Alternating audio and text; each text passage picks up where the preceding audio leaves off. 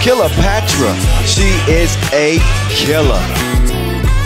She's a warrior, really. She's doing everything more than 100%. The GOAT, the greatest of all time. Oh, Cleopatra. Splash ya. She's very kind, she's very passionate. Yeah, she is the best sister. She's the best basketball player. She got so much sauce, she'll give you heartburn. She is a friend and a sister for everybody, her friends, her teammates. Oh, did you see that pass though? She's very supportive, even in some of the basketball I'm playing. She is everywhere like internet. She's the most talented, caring, funny friend uh, I've ever had.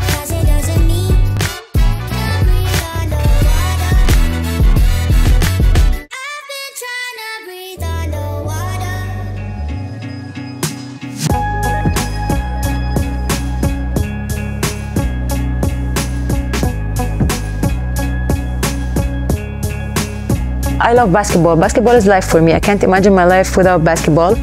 I think when when you give a sport or anything 100%, it gives you back 200%. So basketball chooses me, not me chooses basketball. I was born in uh, 1995. I was born in Cairo. I started uh, basketball when I was like eight years old. I started 20 years ago. I played like swimming, tennis, until I found myself in basketball. I was doing so many tricks and so many plays in basketball that my mother and my father, they were watching me all the time and they were telling me that you're unique, you're special. I found a talent in myself. She challenges herself every time she uh, play. She's unique, doing some tricks I have not seen. No look pass. She has some crazy passes in her, I'll tell you that. She's a gifted player, man. I love watching Soraya.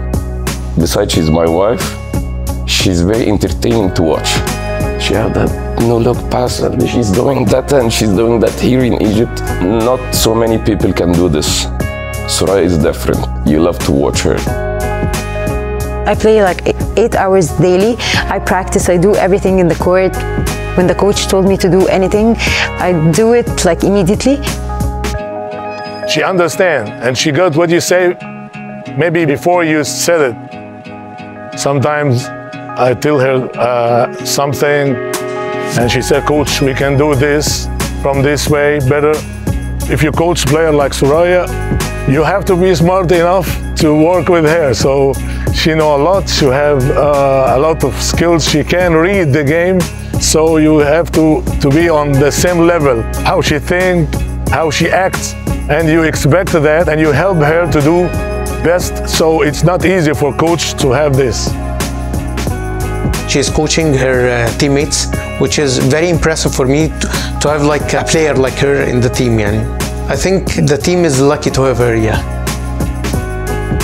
A smart player, a fast player, a sniper, can shoot the ball anytime, as fast as you think about it. A lot of skills. She can handle the ball, dribble the ball, change direction anywhere, finish inside, outside. It's like a player. She's, she's awesome.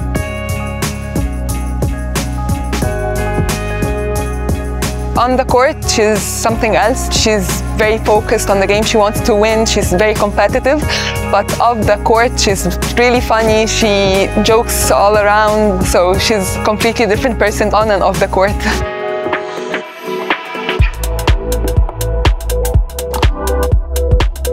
3x3. It's the most interesting and exciting game ever.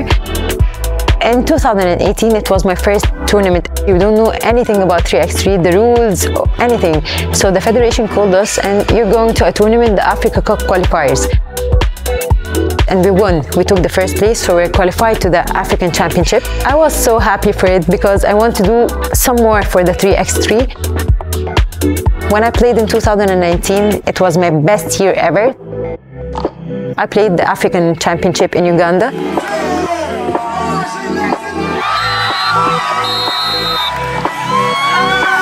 And we won the African Championship. We were like three players only. We don't have a sub.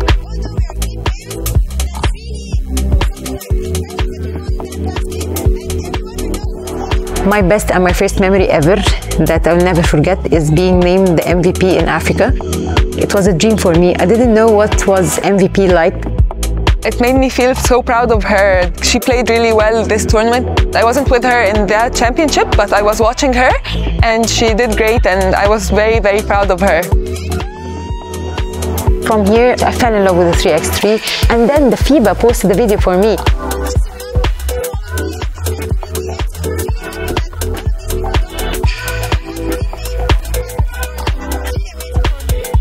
Thousands of people wants to follow me. From where did you get me?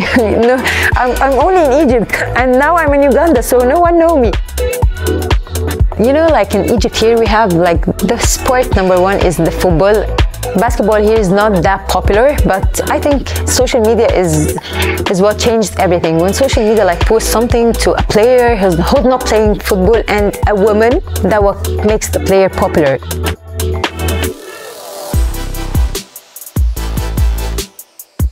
When she became uh, famous and popular, this was my first time I've seen even my friends saying that they have watched the basketball match uh, through FIBA. I got confused. How do you know her? She is popular to me, but not popular to everyone like this. This was a very good feeling for me. After she became the top 10 in 3 on 3, she became very, very, very famous. Then everything escalated quickly. Everyone in the street, Rami Malek, Rami Malek. when you guys posted on FIBA that move over Cleopatra, we have a new queen, all the people, you're Cleopatra, you're Cleopatra. I said, yes, hi. when I go with my husband in any place in a mall or something, and someone tell my husband, uh, "Can you take this uh, photo with uh, with her?" They don't know that he's my husband, but but he's so supportive, and he takes the, the photo. May I take a picture? May I take a picture? Yeah. uh, it's okay. I'm a teacher right now, and the students they told me, "How can we find you on Google? How can we find you on Facebook and on Instagram? And your account is uh, verified. How? This is not you." No, it's me. I have two brothers. Me and my, older brother weren't that close when we were so young, and then we, when he got married, we then become closer. For sure, we fight a lot, maybe twice a week or something, but we end up having the best relationship together after all these fights. I've been married for like one, one year and a half and I moved to another apartment. So I miss my family, I miss my father, I miss my mother, I miss everything, even the fights, even the fights we had before, I miss, I miss it so much. Maybe these fights makes us more uh, closer to each other. This is the best thing about uh, fights.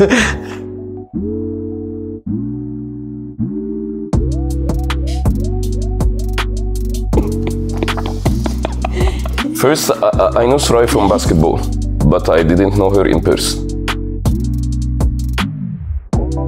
I met Soraya on 21 September 2018. She was having a three on three tournament at some club here.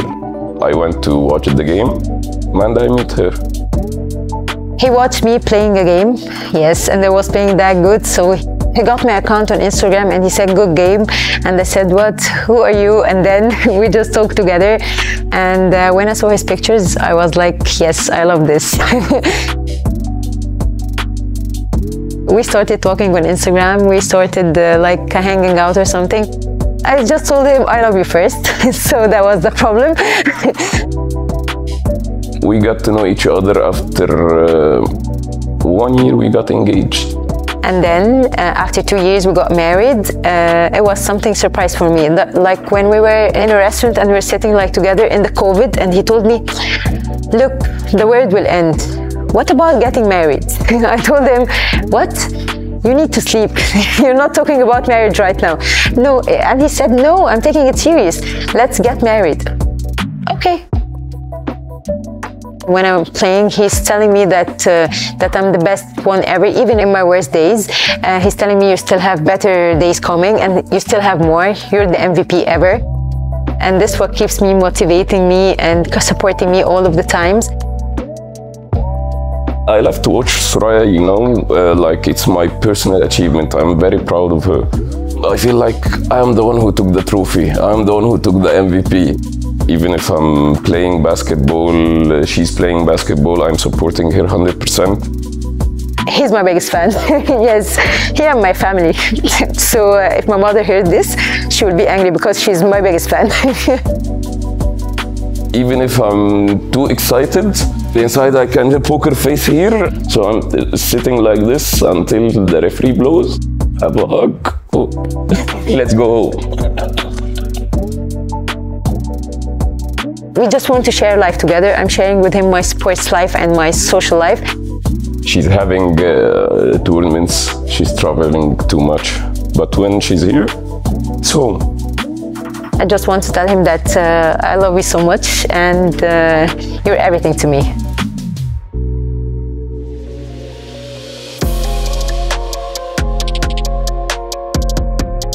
Actually, 2021 was the hardest year ever for me. When I tore my ACL, it was an accident. It wasn't like a player who got injured in a game. No. I was finishing a layup and then someone kicked me from the behind in my knee. Her head was in my knee, so like I twisted and then fell on the ground and then I was screaming. I didn't know what happened. Like I think my knee like twisted 180 degrees.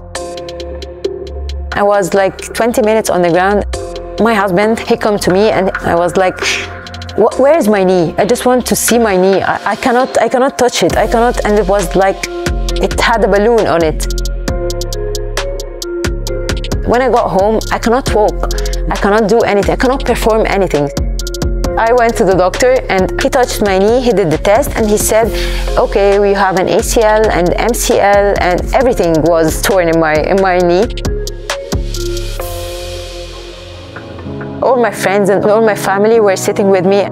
They were supporting me, they're telling me, and all the social media, speedy recovery, we're waiting for you. but I was crying all day and night and I don't want my family to see me crying. I don't want to be like weak in front of anyone. So when I cry, I cry with myself in my room. She is trying her best not to show her emotions in front of us. She wants every time someone looks or sees her to see the best version of her and not to see her crying or disappointed. Maybe this is the best uh, trait about being a champion. Yeah. And then when I did the surgery, it was like nine months journey of returning back from tearing the ACL.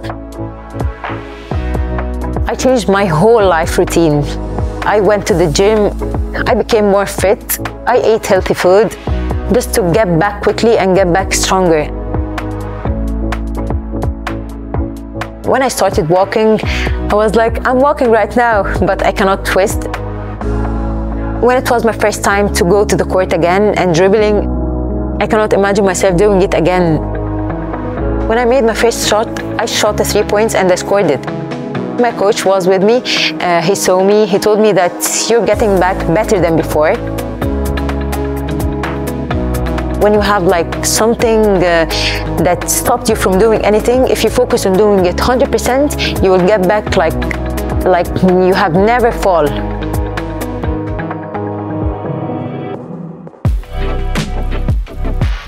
I'm wearing the hijab for like 13 years, so the hijab doesn't stop me from doing anything.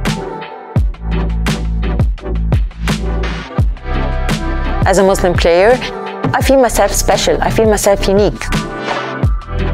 At the end, it's the relationship between me and my God. When I go to any tournament or any championship, when they say, go guard number eight who's wearing the hijab, even if they do not know my name, I'm taking it from the bright side. When the young players see me wearing the hijab as a public figure or as their idol, I think they're gonna do the same like me. she has a lot of uh, role players and all the younger basketball players want to be like her so it's very very nice when someone called me like i'm their idol i'm so happy and i'm so proud of myself when i had the speech with the players The coach told me that um, you have to tell the players that you did this by your own. You trained so much, you practiced so much. You need to tell them in order to be great or something, you need to train hard. You need to give like 100% of what you have. You need to sacrifice so many things just to practice. Everything I learned, I want to give it to the next generation in order to be good. I'm so lucky to be playing in Egypt in the national team. I just want to write history to my country. I just want to be remembered that Soraya Mohamed was the best in Egypt. So it's something great for me if this happens.